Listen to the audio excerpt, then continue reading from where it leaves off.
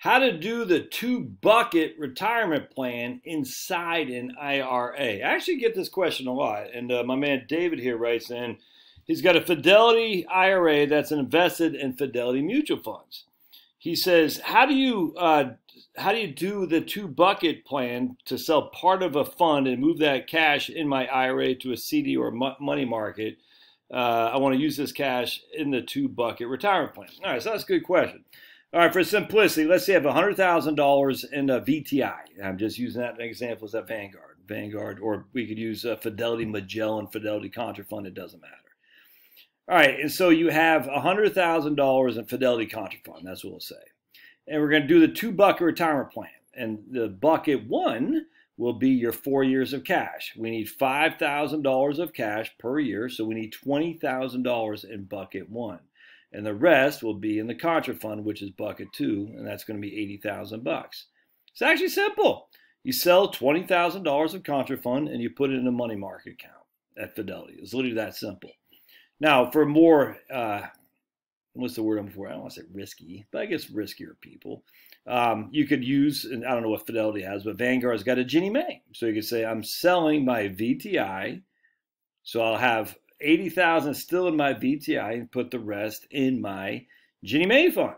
Then that will be my two buckets. And Fidelity, they'll have, you know, I, I think they have a Ginnie Mae, but just for money market account, not a CD money market account. So I got 20,000 in my money market, 80,000 Fidelity Contra.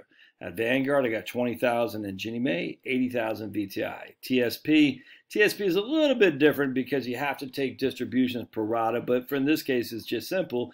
You got $100,000 in the C fund. You move $20,000 into the G fund, uh, $80,000 in the C fund.